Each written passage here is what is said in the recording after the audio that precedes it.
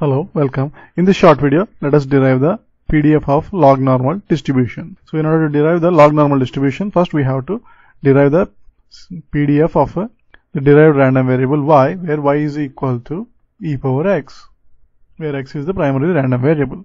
So given that the derived random variable derived random variable y is equal to e power x, then the probability or the CDF of y, that is fy of y, is equal to probability of y less than or equal to small y. But y is equal to e power x. That means probability of e power x is less than or equal to small y, which is equal to probability of by taking logarithm on both sides, we have probability of x less than or equal to logarithm of y. That is natural logarithm of y. This is nothing but by definition the CDF of x at log of y.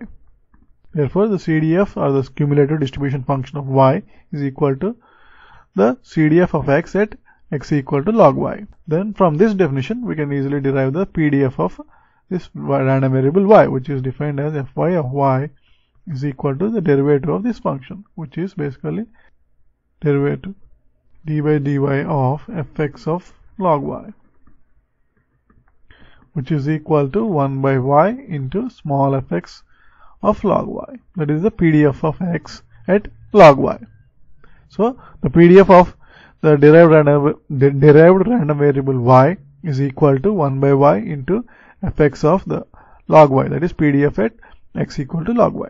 So from this definition, that is fy of y is equal to 1 by y into the PDF of x at log y, we can derive the log normal distribution by simply assuming that x belongs to a Gaussian distribution with mean mu and variance sigma square.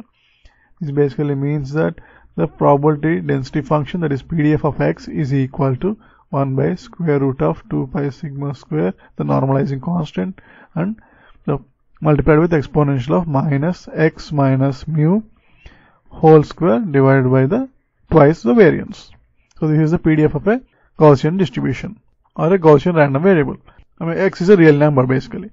Now from this definition uh, of the PDF of a Gaussian random variable and the definition of the derived random variable y, we can derive the log normal distribution as fy of y when x is a Gaussian PDF that is we have 1 by y into the and, and the value of this PDF at x equal to log y that is 1 by square root of 2 pi sigma square exponential of minus log y minus mu whole square by 2 sigma square. So this is the log normal distribution.